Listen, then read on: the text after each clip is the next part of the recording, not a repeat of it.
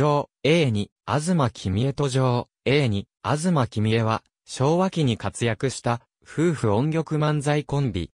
初代君江が没した後、初代の弟子だった、東和子と1964年に結婚を機に、コンビ結成し二代目君江を名乗らせた。生前は、落語協会所属。東清駒の弟子、八代目桂文楽の一門でも、あった。まだ東京で漫才が、寄せなどで浸透していない戦後間もない時代から、看板として活躍。A には、大空ヒットと、青空クリーン、大空ヒットで活動。恋仲であった鹿島市娘の両親の一座に、在籍し鹿島市娘の家庭教師をしていた女性が、そのまま芸人になり東八茶目子で一座で漫才師になった後に初代君江を名乗らせ相方にしたことでコンビが生まれた。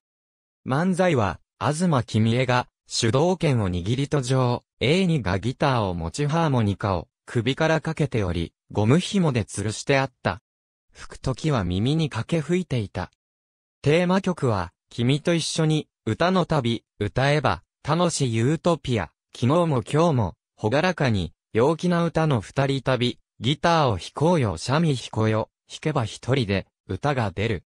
ただし、これは、初代コンビのもので、二代目コンビの時には曲を変えていた。18番は、歌と笑いで旅姿。下げ直前に、君江が、擬音小歌を、三味線を弾きながら歌い、A には、ハーモニカを奏でギターを弾いていた。時折鼻でハーモニカを奏で歌を歌ったりもした。初代君江を37歳という若さで失った後も、二代目、君江に、再婚相手の東和子を迎え、A2 が死去する1979年までコンビは、続いた。